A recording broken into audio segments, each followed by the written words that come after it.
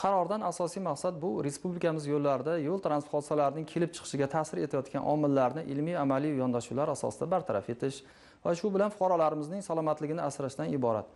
Mazkur qarorni ishlab chiqishda dunyoning rivojlangan mamlakatlarining ilg'or tajribasi o'rganildi hamda unda yangi o'zbekiston sharoitida avtomobil yo'llarida inson hayoti va sog'lig'iga tahdid qiluvchi har qanday hodisalardan kafolatli himoya qilishni nazarda tutuvchi qator chora tadbirlar belgilanib dolzarb yo'nalishlari belgilab olindi. Yo'l harakati intizomi bolalikdan boshlanadi shiori ostida.